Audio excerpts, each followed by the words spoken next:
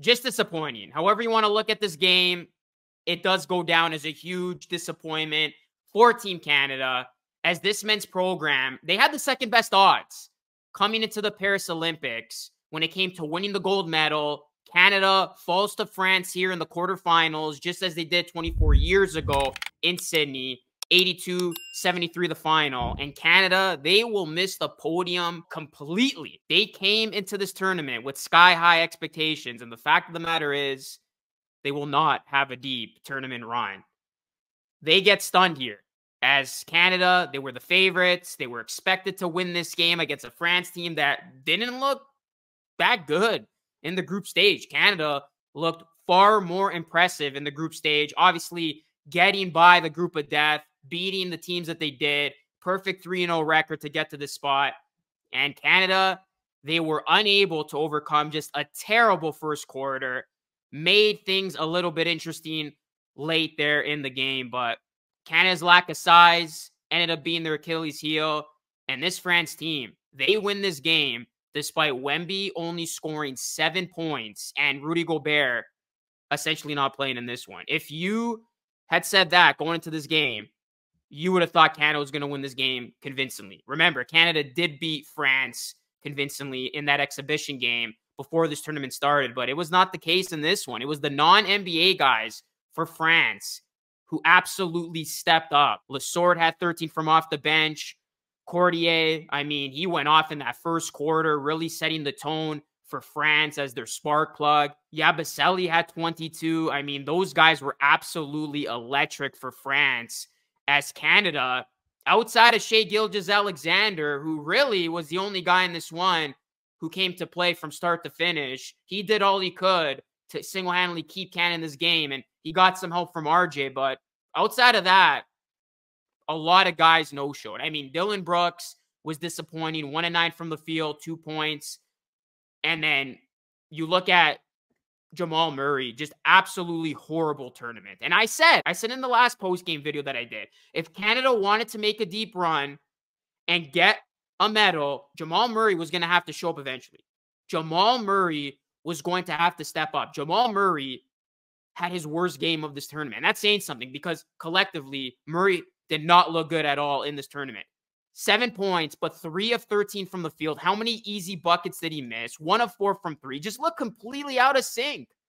He looked like a guy who was scared of the moment. And that's crazy to think because we've seen Jamal Murray come up big time and time again on the NBA stage for his Denver Nuggets. But with Canada, he was a shell of himself. So Murray did not show up at all. Canada, no bench production. It was Chase 27, RJ 16. Lu Dort, his defense was solid in this one. He had eight points, three of six shooting, but this was not the Team Canada team that we're accustomed to seeing, especially in that first half. I mean, in that first quarter, Canada, they were ice cold from the field. They weren't getting the 50 50 balls. So many turnovers, just costly turnovers. Canada, they ended this game with 14 turnovers, but a lot of those coming in the first half. Sloppy play. Just looked like a team that was not ready at all. Th- that was the worst we had seen Canada look by far. Yeah, couldn't hit a shot, couldn't hit a three. They finished this game just 5 of 21 from three. They shot at just 37% from the field. And France, they were just too big. I mean, Canada, we saw them have success with those small ball lineups, but in a game like this with France's size, it did not do Canada any favors. Canada, they were definitely missing a true big man presence in this game, you know, a Zach Edey, if you will, because they were just getting exposed in the paint. And even late in this game, a couple of offensive boards for France. And then obviously the biggest thing here, a lot of people, you know, saying, was this influenced? You know, this game was in France, that home crowd. We saw how electric they were, hostile environment. Obviously, you know, playing a big factor in this one. But you look at the free throw attempts, guys. France had 42 free throw attempts. That is nuts. 33 of 42 at the line. Canada only had 25 attempts, going 18 of 25 from the line. And really, you boil it down, free throws a huge component of this game. As France, they got to the line a ton. They made their free throws, 78.6% of them.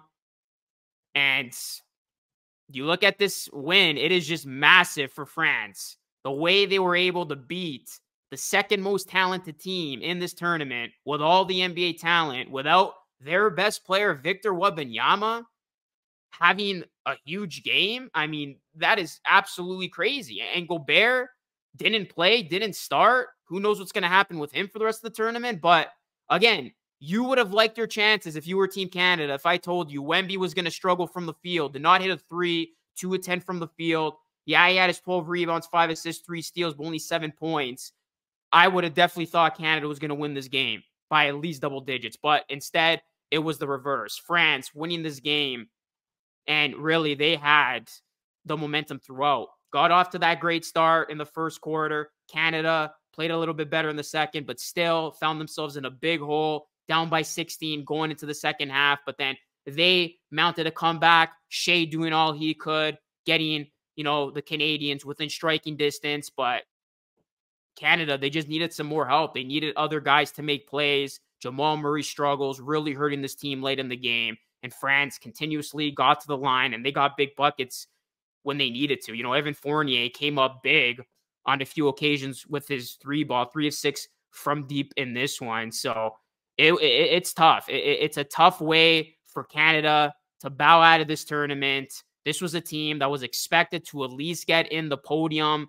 If they had won this game, they would have had a chance for at least the bronze, but they lose in this spot. It's disappointing. It really, really is that this was a team that, you know, they were thinking about, talking about, eyeing down the United States, unable to get by France, unable to advance to the semifinals. And there's going to be a lot of question marks coming out of this. So, I mean, there's a lot that obviously went France's way when you look at the free throws. But bottom line is Canada, they should have never made this a game. Eh, this should have not been close. This should have not been in France's favor. The way Canada opened up this game, it really hurt them. And they just looked out of sync.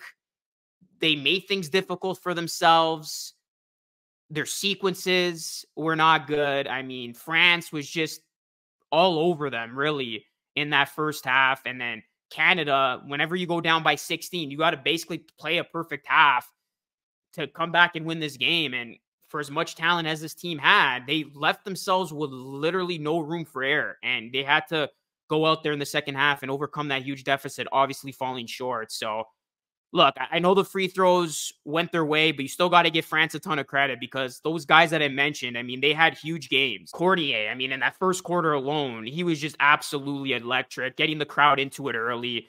He was the X factor for me in this one. And then obviously, you know, you look at Yabusele, he was big, and then Victor Wembanyama, he did what he could on the glass, and really France bailing him out. France winning this game despite Victor Wembanyama's struggles from the floor. So, Team Canada, I expected them to look a lot better. We obviously expected them to have a better result at this tournament, and now it's going to be all about 2028. But I think size is going to be on the forefront for this Canadian team because they got exposed in this one with their lack of size. Obviously, you're going to look at a guy like Zach Edey, hopefully for the next, you know, tournament run, but they really just got dominated in terms of their lack of size, going up against this tall, long France team, making things difficult. And uh, Canada, they did not shoot the ball well as we were accustomed to them seeing. And somebody other than Shai needed to step up in a big way. As I said, RJ did chip in with 16, but you look at outside of those guys, basically a non-factor from everybody else. You know, you thought Brooks was going to be better and Jamal Murray, not going to just pin it on one guy, but that was one guy who I definitely thought was due for a big game. And really, he did not show up at all for Canada in this tournament. And you just knew that Jamal Murray was going to have to wake up at some point, and it never happened. And as a result, Canada exits early. So big disappointment for Team Canada, guys. No podium for them. They lose in the quarterfinals again to France, shades of 24 years ago. This one's going to hurt and sting for a while, as you know, following that impressive run last year at the FIBA World Cup, Canada, they were expected to at least be a part of the Final Four. And the fact that they go out here in this spot, I know they drew the toughest opponent in the knockout stage, but still, they were expected to win this game. They were favored.